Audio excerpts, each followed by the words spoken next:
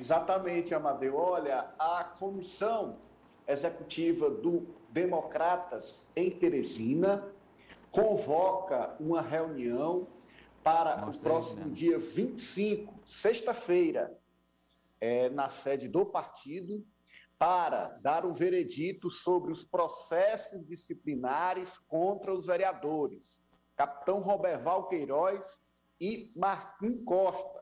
Esse processo já foi aberto, já foi dado um prazo para os vereadores se defender, eles apresentaram a defesa por escrito e nessa reunião aí, sexta-feira, será determinado o fim desse processo, que pode resultar em advertência, suspensão dos direitos partidários e até expulsão da sigla. Isso tudo vai ser discutido na audiência marcada para a próxima sexta-feira. A convocação foi feita aí pelo presidente municipal Joaquim Júnior, do Democratas. Aí o que é que vai acontecer? Eu quero saber. Eles serão advertidos, serão admoestados, afastados. O que vai acontecer, Sávia? Olha, eles podem receber, muito provavelmente vão receber alguma é, notificação, vão poder se defender Protocolar. também. Exatamente. Isso é só burocracia. Resumindo, não, não vai... serão expulsos. Não, não serão expulsos, até porque tudo passa por essa reunião que vai acontecer com a CM Neto, com os vereadores e com o Rony Lustosa. Aí sim é que pode acontecer alguma coisa. Eu acho muito difícil um partido abrir mão de vereador nessa altura do campeonato. Apoliana? Também não acredito que vá dar em uma consequência mais grave, Amado. Eu acho que parece-me mais aí um sossego facho, uma queta leão para tentar botar os vereadores na rédea, né? Ari? É inútil. Eles estão com o doutor Pessoa e não vão deixar a gestão do prefeito por conta de pressão da cúpula do partido. É, Amadeu, só, só para fazer uma correção, não vai ser na sede do partido, vai ser no endereço que está aí no documento, na rua Anfrísio Lobão, esquina com a Tomás, é, Tomás Tágera. Ah. É, e, na verdade, o clima lá não está bom, não, para os vereadores. Viu? Nem na sede do partido eles estão entrando mais, então. Porque marcaram a reunião para fora da sede. Cá, e o Anelino está é um... dando o endereço, porque caso eles digam, ah, eu compareci não tinha ninguém lá na sede. Não, não é na sede, então. Vem cá, eu, pelo que eu estou entendendo aí, os vereadores, o, o Rony e o Joaquim estão dizendo assim, ou eles ou nós? Ou nós, é. Eu Exatamente, eles já, eles já levaram até as últimas consequências, né? Abriram o processo disciplinar, notificaram os vereadores. O partido vai ficar com quem? O Nacional vai ficar com quem? Com quem tem mandato, não? Mas o Heráclito tem força. É, e o Eu Joaquim, ninguém tira do Heráclito, e, não. E o Joaquim é um nome do Heráclito, né? Então, se o, o Joaquim, Heráclito... o Joaquim está se pronunciando em nome do ex-deputado, do ex-senador Heráclito Fortes, essa é verdade. E o, e o Rony também, minha gente. Sim, claro. Sim. Quem aí que tá, não é por trás não, quem tá aí de um lado é o Heráclito e do outro os dois vereadores. Verdade. verdade. Quem vai ganhar? O Heráclito tem mais força junto ao, ao ACM, né? Sávia... Não, o Heráclito é, tem mais força, mas eu não acho que é a ponto de é, chegar à expulsão dos vereadores. Eu não a Poliana? É eu concordo com a Sávia, que a força do Heráclito ela é indiscutível, mas eu não acho que vá assim tão drástico na ah, mas, bom, é, Vamos agora com mais um duelo, que o duelo de manchete trazido pela Sávia Barreto sobre... Duelo trazido pela Sávia? Ah, pois é, que coisa surpreendente nesse 21 de junho. Acho que é a proximidade do São João. Olha, doutor Gilberto Farol. Olha aí, doutor Gilberto, uma hora tá dançando forró, outra hora tá duelando com o vereador Leonardo Eulálio do PL. Epa! O Leonardo Eulálio não é que ia para a Secretaria de Saúde, que ia ser desmembrado da fundação? Pois é, pois é, coincidência, né? E aí ele resolveu fazer algumas críticas ao doutor Gilberto, presidente da Fundação Municipal de Saúde, a respeito da das cirurgias eletivas, né? Ele diz que desde fevereiro faz essa demanda, conversa com a fundação e diz que a fundação não tem atendido isso e vai chegar um ponto em que ele é, vai se organizar com as é, entidades para pressionar, com o Conselho de Saúde para pressionar é que o município toma uma decisão. Ou seja, ele está dizendo que o doutor Gilberto está sendo lento, não está operando com a velocidade necessária nessa questão. Vamos ver o que falou o vereador. A gente já entrou em fevereiro desse ano, já solicitou para a Fundação Municipal de Saúde a relação das cirurgias eletivas, a quantidade de cirurgias eletivas acumuladas. E até agora a gente não obteve resposta. Então, diante disso, dessa realidade, dessa não resposta por parte da Fundação Municipal de Saúde, a gente agora encaminhou para o Conselho Municipal de Saúde. Vamos encaminhar também para o Conselho Municipal Estadual, que o que a gente precisa é dar uma perspectiva, é uma esperança para a população de quando ela vai ter o seu problema realizado.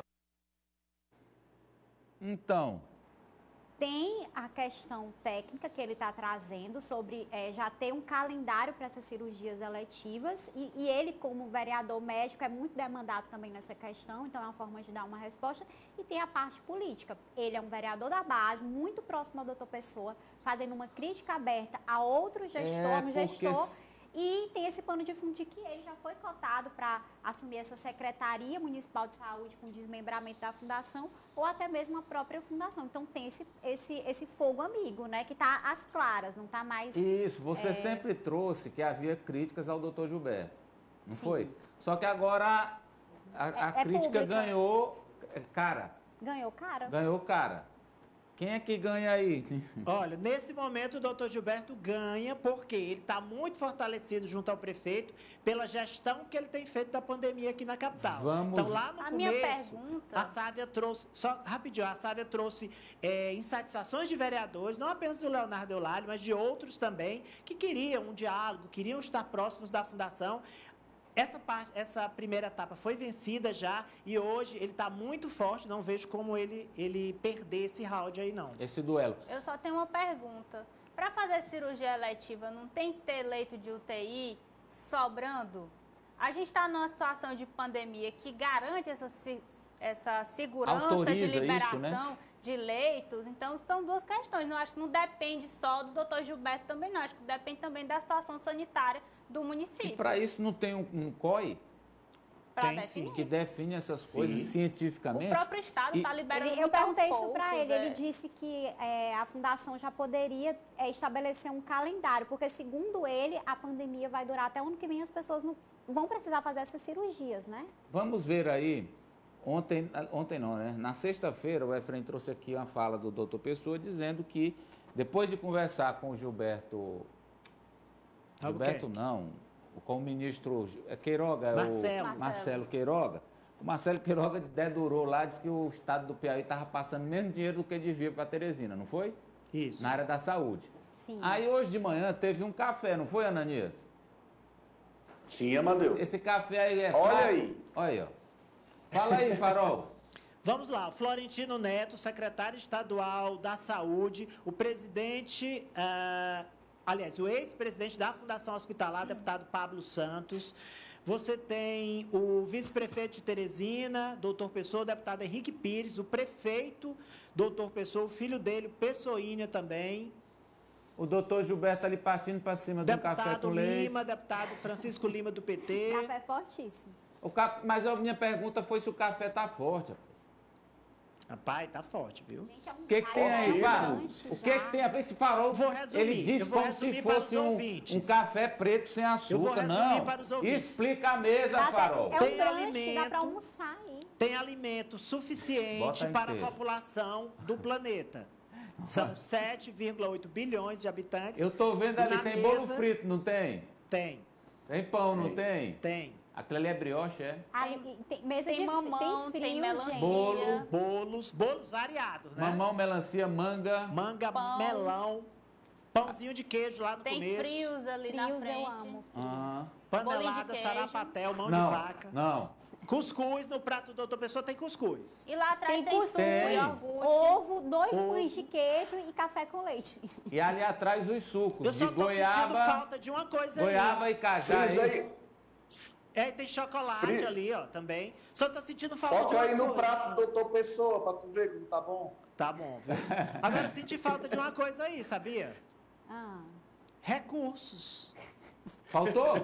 Tô sentindo falta de recursos. Pois é nessa aí que o, O, o doutor Pessoa, o prefeito, foi reclamar para o secretário. O Efraim ouviu o secretário sobre esse negócio aí de mais verba para Teresina do Estado na área da saúde. É o que disse aí o secretário. Olha, o repasse que é feito do cofinanciamento, da parcela do cofinanciamento, é de um milhão, um milhão e poucos mil reais. É, que é a parcela do período que esteve atrasado que nós estamos pagando mensalmente. Isso é, foi colocado, é, foi visto que nós estamos em dia com relação a essa parcela.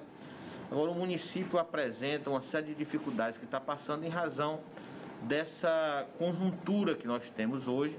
Nós temos 397 mil doses aproximadamente ainda por registrar. E o que nós estamos favorecendo é que o Estado está pagando R$ 1,50 por cada dose registrada nesses próximos 30 dias. É, ele está dizendo que o repasse está sendo correto da, da, da legislação, Ari. É, nem é da legislação, é, nem é da, da legislação. ah, cofinanciamento. Mateus. Isso foi feito um acordo via PPM com todos os 224 Aham. municípios e todo mês é, é feito um repasse.